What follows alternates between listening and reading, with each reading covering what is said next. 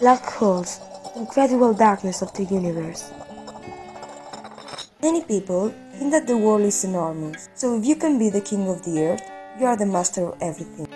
But it isn't what it seems. If we see beyond the sky, we will realize that we are just little mice, and the kingdom we are fighting for is only a nutshell. The Sun is the closest star to our planet, and its volume is bigger than the Earth's one. Now, imagine that this point is the Sun.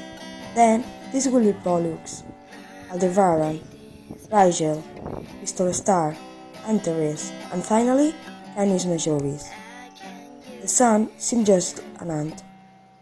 When I prepared the reaction between sodium and water, it released heat, and as the sodium and the solution warmed up, the reaction went faster and faster. Sodium was compressed, and finally, it burned and some hydrogen was released. Something like this happens with the star combustion. The star has been growing since it exhausted its hydrogen and helium fusion started. When it doesn't have any helium, gravity compresses it and the star becomes a tiny matter with an enormous density. The star becomes a supernova.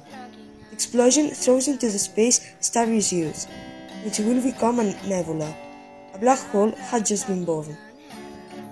Escape speed is the velocity which a body needs to escape from the planet or star gravity. It depends on the mass and on the radius planet or star.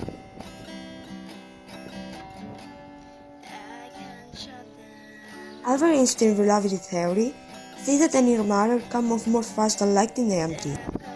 Then, what will happen to a planet or a star which escape speed its biggest than the light's velocity? Anything can escape. Schwarzschild predicts black holes' real existence when he found a solution to our Einstein's equation. The size which is needed to compress a planet or a star in order that it can become a black hole is called Schwarzschild radium. Earth's Schwarzschild radium is too small, so we have to concentrate its mass into a 9 mm radius ball. Anyway, what will happen to us if we enter into a black hole? At the beginning, we will float towards black hole's event horizon, which is an unreturned space that you not escape from the gravitational force. Spaghettification is a characteristic effect from extreme gravitational systems. Gravitational difference is so wide between feet and head that the forces with that act produce spaghettification. It will stretch you until you'll be a row of atoms.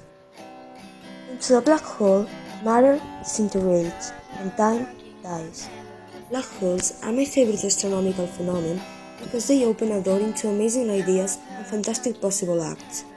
Albert Einstein predicted mathematically black holes' existence, although he didn't believe in their physical existence. He demonstrated wormhole's existence is possible, Although time travel at the past involved the grandfather paradox, it gives us the possibility to travel through the time and space, and deformate space-time far beyond the current gravitational curvature.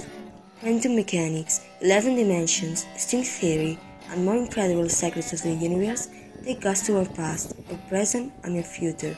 Take us to the theory of everything.